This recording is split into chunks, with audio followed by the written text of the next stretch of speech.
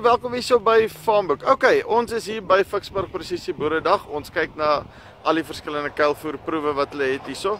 So dit het gestop hierso by 'n uh, Beyer dekalp.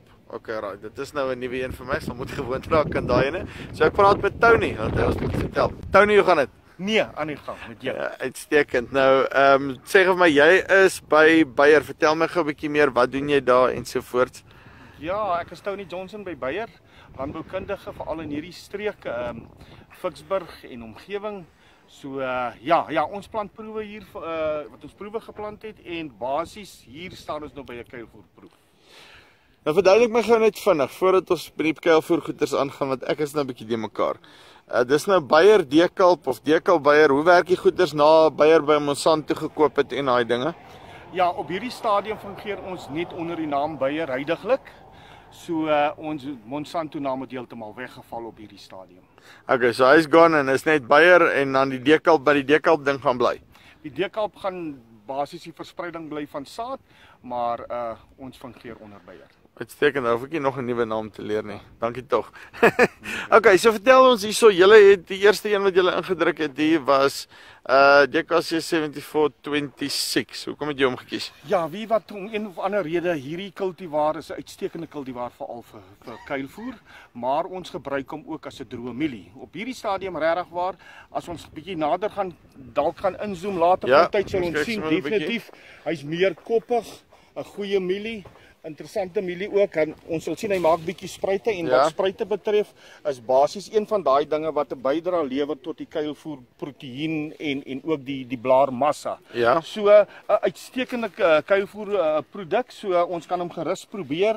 Uh, hy is meer koppig en uh, regtig waar as ons kyk na sy blaaroppervlak, hy's redelik blaar blaar blaar ryk en veral as ons kyk in die ry af hier op hierdie stadium sal ons sien hy maak 'n canopy effek ja. in vergelyk met ons ander kultivars waar jy 'n duidelike lyn nog kan sien. So dit dra by dan tot die hoë tonnemate in kuilvoer. So nou, wat kry hy omtrent uh, min of meer As ons spesifiek kyk hier na wat hy kry per ton, weet ek uh, ons kan hom hier teen 38000 stand plant teen vir kuilvoer, dan sal ons definitief rondom die 40 tot 50 duis, uh, ton per hektaar definitief kan afhaal en dit is 'n gegewe uh, as gevolg natuurlik van sy blaarryk, sy meerkoppigheid en ook hy maak meer spruite wat bydra tot die kuilvoer. Uh, ja, want dit dit lyk vir my of hy amper meer hy's hy soos ek, hy's kort en dik.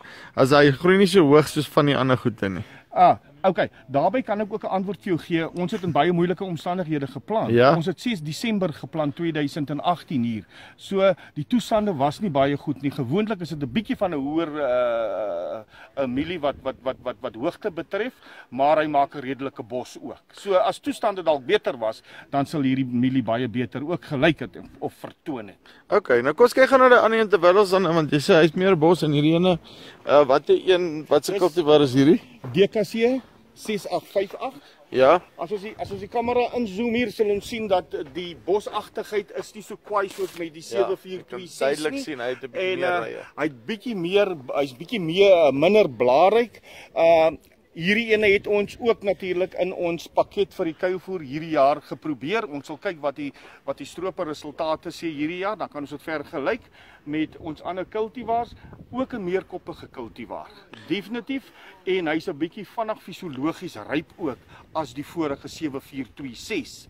So ons sal sien dat hy 'n bietjie hoër is as ons 7426 as gevolg natuurlik van jy kry die verskillende genetika in in in elke kultivar, maar ook 'n uitstekende meerkoppige kultivar en as ons kyk na die koppe self, kom ons kyk sommer hier, kom ons maak ja, gou 'n kop gou oop hier iewers. Is 'n kyk hier na 'n pragtige kop. Hier is ook die eerste kop van die mielie. Ons sal sien hy maak hy hy maak basies sy punt 100% maak hy hom vol en dit is basies wat ons jy was baie jy was baie volmoed geweest. Jy het gesê en dan wrigtig toe hom ooptrek toe is hy vol.